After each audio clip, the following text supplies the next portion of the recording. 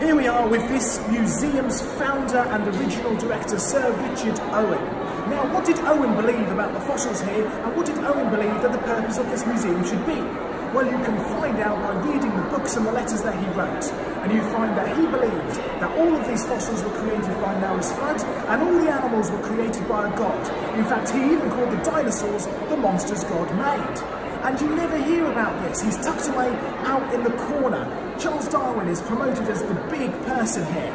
But what do the fossils and the dinosaurs actually show us? Do they back up what Richard Owen believed, or do they back up what Charles Darwin believed? Let's go and find out.